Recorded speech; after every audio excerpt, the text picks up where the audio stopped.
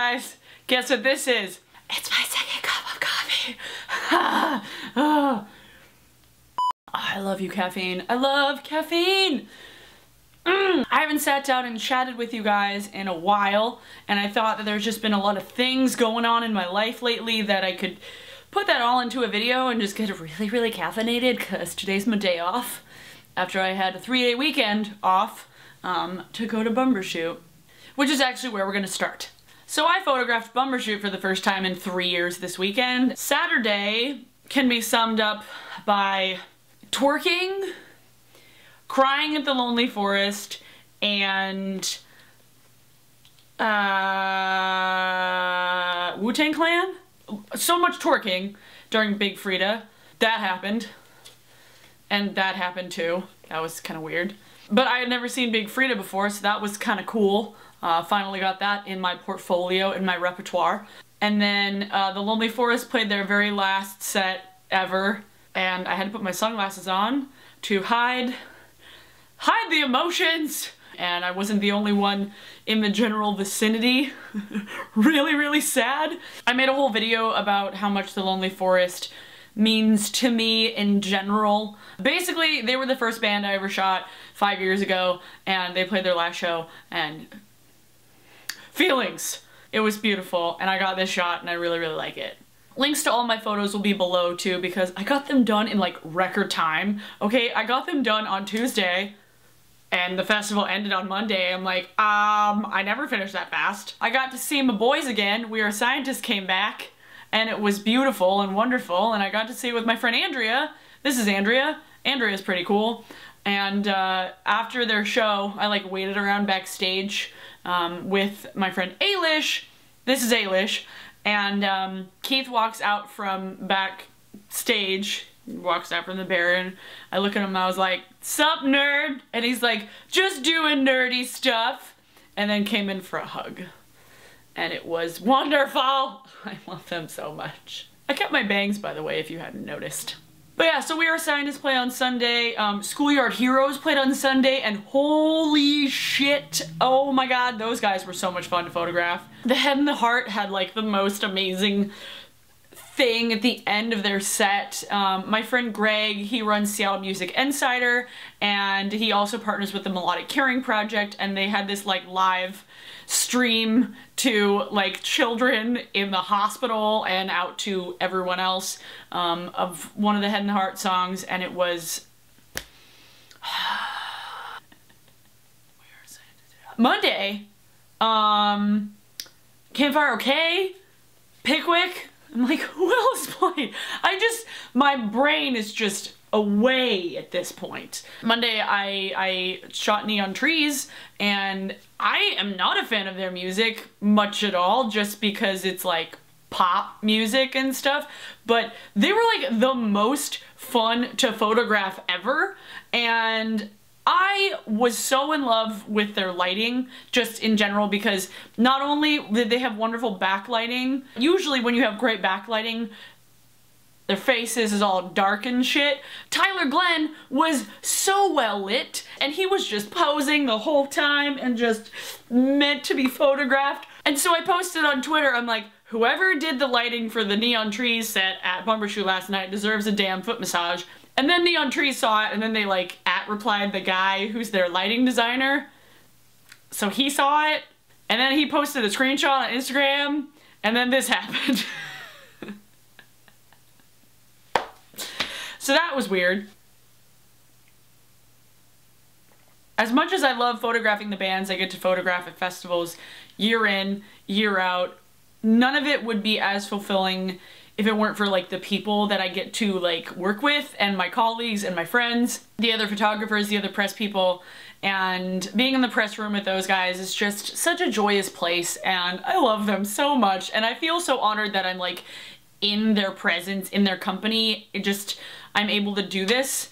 I know none of you watch this, maybe like two, but hearts forever as I'm holding my copy. So that was Bumbershoot pictures to the thing below. I'll show you what I bought at Bumbershoot.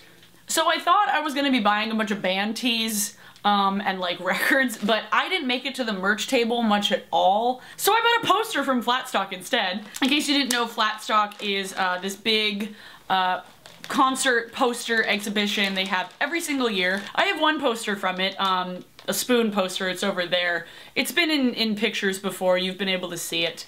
Um, spoon at the Moore Theater, I was at that show. I always like having posters from shows that I was actually like present at. This one I bought, if you can see that, uh, hopefully it's not like shining on it. It's local natives, um, local natives at the Neptune Theater. Uh, this was last year, last April, and um, I was at that show. The guy, the artist, was really, really nice too. There was one artist, um, her name was Frida Clements. I think she actually did my spoon poster, but she has beautiful artwork. I'll post a link to her site below because I wanted to buy all of her posters. but I'm like, money! What is your name, sir? Mike King. Oh, Crash America. I'll post a link to this guy too because he was really nice and uh, his work was gorgeous. I didn't even buy anything from like the vendors because I'm cheap. Meh, coffee. So delicious. Other things that I bought recently. I used this quad in my last tutorial and I got a lot of positive comments, but I had never actually purchased any of like the single, wait no, I own Patina from MAC, but um, I'd been wanting to have like a pink toned brown without actually purchasing the whole Naked palette because I didn't want like a shit ton of like shimmery pinks because I'm a grown up. So I went over to MAC and uh, I found Ho, H-A-U-X. Um, you won't be able to see that very well. So that's that color. It's very similar to like Nooner, I believe that's in the Naked 3 palette, I think. Swiss Chocolate, which I have on my eyes today, basically the color of like hot chocolate powder, um, which is nice. The third one is Texture, which is like a pumpkin tone brown, neutrally color. I absolutely am in love with it. It's like super warm, perfect for fall. I might do like an updated version of my like pumpkin spice latte look that I did with Rachel like three years ago. And then the last one, because I wanted to round it out with like a pink. I've been digging like the warm, like pinky, orangey tone neutral eyes. I don't know, it's like, it gives the illusion of just having like dark eyes naturally. I don't know, and it looks like you're a little bit stoned. That could be a thing. Girly is this last one, this pink one, which is, I think it's a satin finish. I don't really know. That's the last one. It looks really, really pretty on top of Haux, which is what I did in that tutorial, but um, I, I love these colors. Good job, Mac! Um, coming! That was weird. I'm sorry. Ah la la. So there's a thing I've been teasing about for quite a while um, that I haven't actually like told you guys fully what it is. I've told people individually, but I've been wanting to make a film, like a movie, like a short film or whatever length film documentary for about a year and a half. And I have never felt like right about asking any bands about going on tour with them. I felt like okay, like I could ask them, you know, like I was thinking about asking a couple different bands, but then I thought it, it would still be at that awkward phase, like I wasn't at that point. I finally, finally got up the guts to ask those guys, to ask Ravenna Woods if they would have me on tour with them at a future date. I don't know when it's going to be, probably not until after Christmas. I haven't really talked to them that much about it, but they're all on board for it. And so I am going to be making a fucking tour documentary. That'll be a thing. I'm pretty excited about it. I was really, really happy that they were all on board. Like, I talked to Brantley and he's like, it'll be really weird. I'm like, I know. He's like, we're just gonna make fart jokes the whole time. I was like, okay. Let me know if you guys use any sort of like shoulder mounts or like external audio things. I have some ideas, but um, if you know of anything that is like really decently priced and like good quality, let me know. Probably at one point I will be doing some sort of like funding thing. Maybe I'll start a Patreon, I don't know. Because I've seen a bunch of people do a Patreon before and I haven't really felt the need to do it yet, but since this is like actually like a project project thing, um, I will need extra equipment and extra funding to do that. And I would love to be able to like pay the guys for gas um, and like to like, cause I don't want to ask them to pay for me at all. I know some of you had said that you would be into it. I just wanted to throw the idea out at you now that I actually have like a project to do with it. Also an update about the gallery at the Showbox. We still don't have an official date for it yet because the Showbox has been pushing it back. They've been waiting to find like a perfect bill for like an opening, like bands to go on a bill. Um, so I'll keep you updated on that. It We don't have info yet. Coffee! Uh, yeah.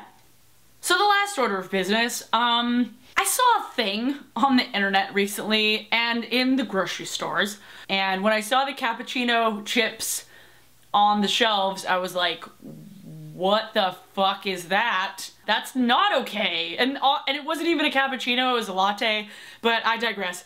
I went to the grocery store today to buy like bread and ice cream and peanut butter, but whatever. I couldn't find the ones that I actually wanted to taste that sounded like, like wonderful. I only found the ones that I was like, I'm really confused and intrigued about, but I didn't actually think were gonna taste good. Literally, I was at Albertsons and they were nowhere to be found, and then I went to Target and they only had these flavors. No, I want to bacon mac and cheese one or the wasabi ginger because those sound delicious. This sounds horrifying. I had to open it before recording this video to smell it because I was just like, what is this going to smell like? And like, I'm a coffee person. I like my coffee. If these chips say they're supposed to taste like coffee, I wanted to uh, debunk that. They smell surprisingly good. They smell like French toast. Okay. I mean, I put cinnamon on my lefse, which is like a potato flatbread, so maybe this will taste like lefse. Let's do this.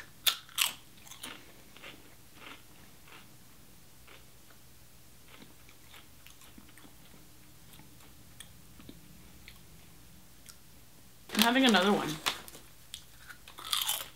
Yeah, it totally tastes like a fried dough churro thing. I don't hate it. I love how it says, does not contain caffeine. Damn it, Lay's, that's what I wanted. I wanted caffeine in these chips. Okay, I don't hate it. Ooh, okay. So this one's the mango salsa, and it's wavy Lay's. smells like pineapple. So that one looks like that. Just got like seasonings and shit on it. Definitely smell the mango.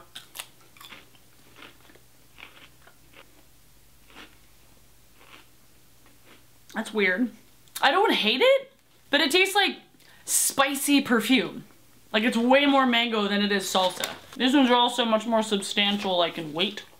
Cause they're wavy, you know? So they have like grooves and shit. I don't hate it. Cool. Yay, I don't have to throw these chips away. Do you know what these would be really good for? When you're super high. Just saying. I'll eat those. you have to be really drunk or really baked to think coffee and potatoes. Natural merriment. You didn't fail miserably, Lay's. Thank you. Well, I'm done with my 20 ounce. My brain not doing things. I don't know. For today's song of the day, uh, in honor of the Lonely Forest last set at Bumbershoot, um, it is The Stars Like Dust uh, from their last album, Adding Up the Wasted Hours. And I was driving home from work last night. It got to the last song. I was like 15 minutes from home. And I got like halfway through the song and I just started crying. And I realized that the lyrics in that song is so poignant for like where it is at their career. Like it's the last song on their last album. The song ends with, I just wanted to say, oh, what a beautiful way to waste our time. And I'm like, that is like the most apt, ironic, poignant lyric ever. I just kept playing it and singing it And at the point when I got home, I was like, I want to have that lyric fucking tattooed on my body. It's just a beautiful phrase and like a lyric and they have such a big part in my life just because they were the first show I ever shot and like they got me into so many other local bands and it was just like all the dominoes and they were like the first domino. That song, The Stars Like Dust from the Lonely Forest is your song of the day and uh, go listen to it and cry. I'm gonna go, so I'll see you guys in my next video. Bye!